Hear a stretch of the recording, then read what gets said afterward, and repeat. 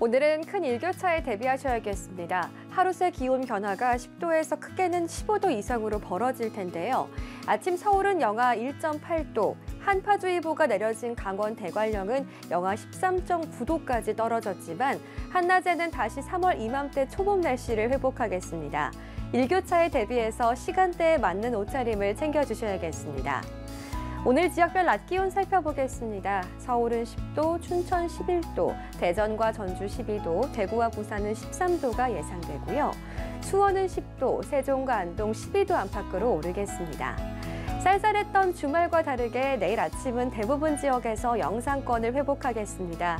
이번 주 평년 초봄 기온을 웃돌며 날이 온화하겠습니다. 오늘 하늘은 대체로 맑겠고 미세먼지 걱정 없이 공기질도 청정하겠습니다. 맑은 날씨 속 수도권과 충청, 영남을 중심으로 대기는 점점 더 건조해지겠습니다. 화재 사고를 조심하셔야겠습니다.